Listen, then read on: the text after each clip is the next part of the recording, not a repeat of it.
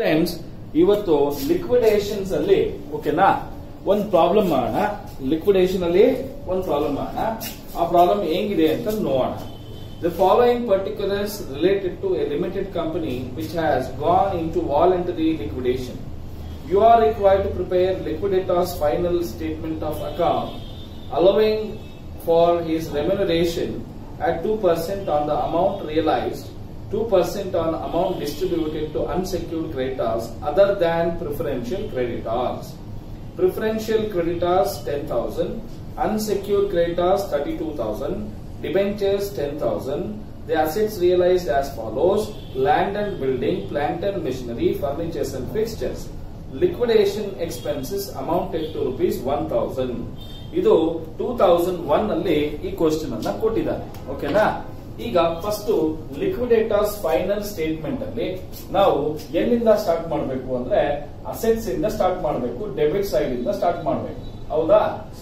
First assets realised ಯಾವ್ಯಾವ assets ಎಷ್ಟೆಷ್ಟಿಗೆ sale ಮಾಡಿದೀವಿ ಹೇಳಿ.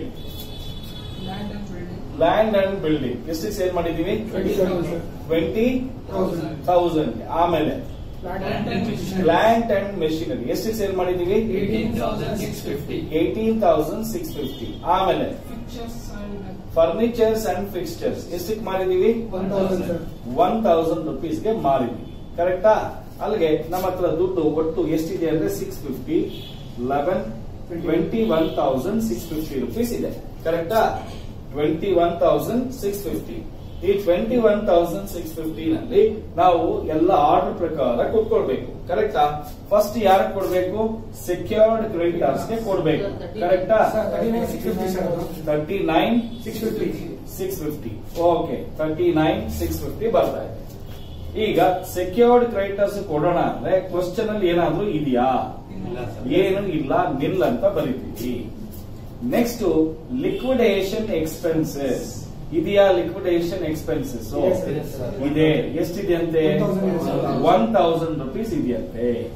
ನೆಕ್ಸ್ಟ್ ಲಿಕ್ವಿಡೇಟರ್ ರೆಮ್ಯುನರೇಷನ್ ಅಂತ ಹೇಳಿದ್ದಾರೆ. ಕರೆಕ್ಟಾ. ಇಲ್ಲಿ ಲಿಕ್ವಿಡೇಟರ್ಸ್ ರೆಮ್ಯುನರೇಷನ್ ಎರಡು ತರ ಕೊಡ್ತಾ ಇದ್ದೀವಿ. ಏನಂತ ಹೇಳ್ತಾ ಇದ್ದಾನೆ? ಒಂದೇದು two percent on assets realised ಅಂತ ಹೇಳ್ತಾ ಇದ್ದಾನೆ. ಅಂದ್ರೆ ಎಷ್ಟು ಅಸೆಟ್ಸ್ನ ಸೇಲ್ ಮಾಡಿದಾನೆ ಆ ಸೇಲ್ ಮಾಡಿರೋ ಅಸೆಟ್ಸ್ ಮೇಲೆ ಏನ್ ಮಾಡ್ತಾ ಇದೀವಿ?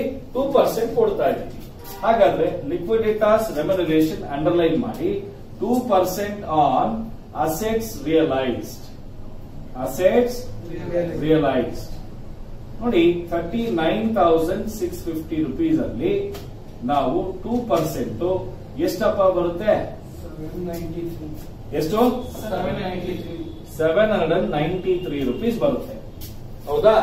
ಇನ್ನೂ ಒಂದು ಟೂ ಪರ್ಸೆಂಟ್ ಕಮಿಷನ್ ಕೊಡ್ತಾ ಇದೀವಿ ಅದು two percent on unsecured creditors ಅಂತ ಹೇಳ್ತಾರೆ ಕರೆಕ್ಟಾ ಈಗ ಅನ್ಸೆಕ್ಯೂರ್ಡ್ ಕ್ರೆಡಿಟರ್ಸ್ ಮೇಲೆ ಕೊಡ್ಬೇಕು. ಅನ್ಸೆಕ್ಯೂರ್ಡ್ ಅಂದ್ರೆ ಪ್ರಿಫರೆನ್ಷಿಯಲ್ ಕ್ರೆಡಿಟರ್ಸ್ ಬರುತ್ತೆ ಅನ್ಸೆಕ್ಯೂರ್ಡ್ ಬರುತ್ತೆ. ಬಟ್ ಒಂದ್ ಪ್ರಾಬ್ಲಮ್ ಅಲ್ಲಿ ಏನ್ ಹೇಳ್ತಾ ಇದ್ದಾನೆ ಟೂ ಪರ್ಸೆಂಟ್ ಬರೀ ಅನ್ಸೆಕ್ಯೂರ್ಡ್ ಮೇಲೆ ಮಾತ್ರ ಪ್ರಿಫರೆನ್ಷಿಯಲ್ ಕ್ರೆಡಿಟರ್ಸ್ ಮೇಲೆ ಬಿಟ್ಟು ಅಂತ ಹೇಳ್ತಾ ಇದ್ದಾರೆ. ಕರೆಕ್ಟಾ ಹಾಗಾದ್ರೆ ನಮ್ಗೆ ಅನ್ಸೆಕ್ಯೂರ್ಡ್ ಕ್ರೆಡಿಟರ್ಸ್ಗೆ ಎಷ್ಟು ಕೊಡ್ತಾ ಇದೀವಿ ಅಂತ ನಮಗೆ ಗೊತ್ತಿಲ್ಲ. ಗೊತ್ತಿದೆಯಾ ನಮ್ಗೆ? ಗೊತ್ತಿಲ್ಲ. ನೆಕ್ಸ್ಟ್ ಯಾರು ಕೊಡ್ತೀವಪ್ಪ? ಡಿವೆಂಚರ್ಸ್ ಕೊಡ್ತೀವಿ. ಡಿವೆಂಚರ್ಸ್ ಪ್ರಾಬ್ಲಮ್ನಲ್ಲಿ ಏನು ಕೊಟ್ಟಿಲ್ಲ. ಕರೆಕ್ಟಾ ನಿಲ್ ಅಂತ ಬರ್ದೆ. ನೆಕ್ಸ್ಟ್ ಯಾರಿಗಪ್ಪ ಕೊಡ್ಬೇಕು? ಪ್ರಿಫರೆನ್ಷಿಯಲ್ ಕ್ರೆಡಿಟರ್ಸ್ ಕೊಡ್ಬೇಕು. Debentures 10,000. ಟೆನ್ ತೌಸಂಡ್ ಅಂತ ಇದೆಯಾ ಓಕೆ ವೆರಿ ಗುಡ್ ಹಾಗಾದ್ರೆ ಡಿಬೆಂಚರ್ಸ್ಗೆ ಟೆನ್ ತೌಸಂಡ್ ಕೊಡೋಣ. ಯಾಕೆಂದ್ರೆ ದುಡ್ಡಿದೆ ನಮ್ಮ ಹತ್ರ. ಯಾಕೆಂದ್ರೆ ಟೋಟಲ್ ನಮ್ಮ ಹತ್ರ ಇರೋದು thirty nine thousand six fifty rupees ಇದೆ. ಕರೆಕ್ಟಾ thirty nine thousand six fifty ನಲ್ಲಿ ಎಲ್ರಿಗೂ ಕೊಟ್ಮೇಲೆ, ಅಂದ್ರೆ ಇವ್ರಿಗೆಲ್ರಿಗೂ ಕೊಟ್ಮೇಲೆ ಇನ್ನೂ ನಮ್ಮ ಹತ್ರ ದುಡ್ಡು ಮಿಕ್ಕಿರುತ್ತೆ. ಕರೆಕ್ಟಾ? ಹಾಗಾದ್ರೆ ಪ್ರಿಫರೆನ್ಷಿಯಲ್ ಕ್ರೆಡಿಟರ್ಸ್ಗೆ ಎಷ್ಟು ಕೊಡ್ಬೇಕಂತೆ? 10,000 sir. ಟೆನ್ ತೌಸಂಡ್ ಅವ್ರಿಗೂ ಕೊಟ್ಟ ಮೇಲೆ ಇನ್ನೂ ದುಡ್ಡು ಮಿಕ್ಕಿರುತ್ತೆ. ಕರೆಕ್ಟಾ ಇಲ್ಲ? ಮಿಕ್ಕಿರುತ್ತೆ. ಎಷ್ಟು ಮಿಕ್ಕಿದೆ ಅಂತ ನೋಡೋಣ. ಇದೆಲ್ಲ ಆದ್ಮೇಲೆ ಯಾರು ಕೊಡ್ಬೇಕು? ಅನ್ಸೆಕ್ಯೂರ್ಡ್ ಕ್ರೈಟಾಸ್ ಕೊಡ್ಬೇಕು. ಕರೆಕ್ಟಾ? ಈಗ ಅನ್ಸೆಕ್ಯೂರ್ಡ್ ಕ್ರೈಟಾಸ್ಗೆ ಎಷ್ಟು ಕೊಡ್ಬೇಕಾಗಿದೆ ಫಸ್ಟ್ ನೋಡೋಣ. ಓಕೆನಾ? ಈಗ ತರ್ಟಿ ನೈನ್ ಸಿಕ್ಸ್ ಫಿಫ್ಟಿ ನಲ್ಲಿ ಓಕೆನಾ? Okay guys one two three four items minus ಮಾಡಿ ಮೈನಸ್ ಮಾಡಿದ್ರೆ twenty one thousand seven ninety three rupees ಬರುತ್ತೆ. ಕರೆಕ್ಟಾ ಓಕೆ ಈ ಹಾಗಾದ್ರೆ ಇನ್ನ ಎಷ್ಟು ಬರುತ್ತೆ? ಫೋರ್ಟೀನ್ ಅಂದ್ರೆ ಫೈವ್ ಫಿಫ್ಟೀನ್ ಅಂದ್ರೆ eight eight minus one seven seventeen thousand eight fifty seven rupees ಇದೆ. ಕರೆಕ್ಟಾ ಅನ್ಸೆಕ್ಯೂರ್ಡ್ ಕ್ರೆಡಿಟರ್ಸ್ ಎಷ್ಟು ಕೊಡ್ಬೇಕು ಪ್ರಾಬ್ಲಮ್ನಲ್ಲಿ ನೋಡಿ. ಅನ್ಸೆಕ್ಯೂರ್ಡ್ ಕ್ರೆಡಿಟರ್ಸ್ ಮೂವತ್ತೆರಡು ಸಾವಿರ ಕೊಡ್ಬೇಕು. ನಮ್ಮ ಹತ್ರ ದುಡ್ಡು ಎಷ್ಟಿದೆ? ಅರೆ ದುಡ್ಡೇ ಇಲ್ಲ ನಮ್ಮ ಹತ್ರ ಕೊಡಕ್ಕೆ. ಫುಲ್ ಕೊಡೋದು ದುಡ್ಡಿಲ್ಲ. ಅಂದ್ರೆ ನಮ್ಮ ಹತ್ರ ಇರೋ ದುಡ್ಡು seventeen thousand eight fifty seven ಇವನ್ಗೆ ಎಷ್ಟು ಅಮೌಂಟ್ ಕೊಡ್ತೀರಾ ಅದ್ರ ಮೇಲೂ ಕೂಡ ಲಿಕ್ವಿಡೇಟರ್ ಎಷ್ಟು ಪರ್ಸೆಂಟ್ ಕೊಡ್ಬೇಕು? ಟೂ ಪರ್ಸೆಂಟ್ ಕೊಡ್ಬೇಕು. ಹೌದಾ? ಹಾಗಾದ್ರೆ ಈ ಸೆವೆಂಟೀನ್ ತೌಸಂಡ್ ಏಟ್ ಫಿಫ್ಟೀನ್ ಅಲ್ಲಿ ಟೂ ಪರ್ಸೆಂಟ್ ಲಿಕ್ವಿಡೇಟರ್ಸ್ಗೆ ರೆಮ್ಯುನರೇಷನ್ ಸೇರ್ಕೊಂಡಿದೆ. ಹಂಡ್ರೆಡ್ ಪರ್ಸೆಂಟ್ ಅಷ್ಟು ಅನ್ಸೆಕ್ಯೂರ್ಡ್ ಕ್ರೆಡಿಟರ್ಸ್ಗೂ ಸೇರ್ಕೊಂಡಿದೆ. ಹಾಗಾದ್ರೆ ಈ seventeen thousand eight fifty seven ಒಟ್ಟು ಎಷ್ಟಾಯ್ತು? ಒನ್ ನಾಟ್ ಟೂ ಪರ್ಸೆಂಟ್ ಆಯ್ತು. ಕರೆಕ್ಟಾ ಎಸ್ ಆರ್ ನೋ ಹಾಗಾದ್ರೆ ನಾವು seventeen thousand eight fifty seven rupees ಏನಿದೆ, ಅದು ಒನ್ ನಾಟ್ ಟೂಗಾದ್ರೆ ಟೂ ಪರ್ಸೆಂಟ್ ರೆಮ್ಯುನರೇಷನ್ ಎಷ್ಟಾಗುತ್ತೆ? ಹೇಳಿ ಬೇಗನೆ ಕ್ಯಾಲ್ಕುಲೇಟರ್ ತಗೊಳ್ಳಿ, ಒತ್ತಿ, ಹೇಳಿ. Seventeen eight fifty seven divided by one naught two into two three fifty point three fifty rupees ಅಂತ ಬರೀತೀವಿ. ಓಕೆನಾ ತ್ರೀ ಫಿಫ್ಟಿ ರುಪೀಸ್ ಕೊಟ್ವಿ.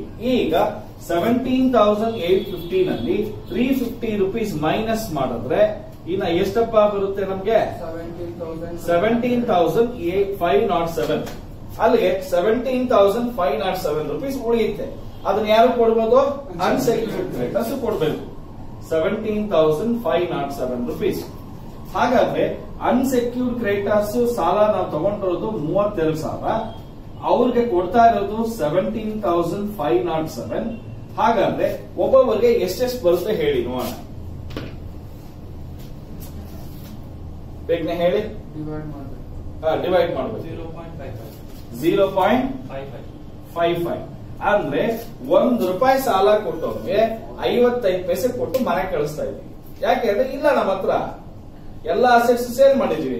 ಕೊಡೋರ್ಗೆಲ್ಲ ಪ್ರಯಾರಿಟಿ ಕೊಟ್ಟಿದೀವಿ ಉಳಿದಿರೋದೆಷ್ಟು seventeen thousand five naught seven ಒಂದ್ ರೂಪಾಯಿ ಸಾಲ ತಗೊಂಡವ್ರಿಗೆ ಐವತ್ತೈದು ಪೈಸೆ ಕೊಟ್ಟು ಇಷ್ಟ ಇರೋದಪ್ಪ ಜಾಗ ಖಾಲಿ ಮಾಡು. ಅರ್ಥ ಆಯ್ತಾ? ಇಷ್ಟು ಮಾಡಿದ್ರೆ ನಿಮಗೆ ಎಷ್ಟು ಮಾರ್ಕ್ಸ್ ಬರುತ್ತೆ ಗೊತ್ತಾ? ಫೈವ್ ಮಾರ್ಕ್ಸ್ ಬರುತ್ತೆ. Okay guys ಬರ್ಕೊಡಿ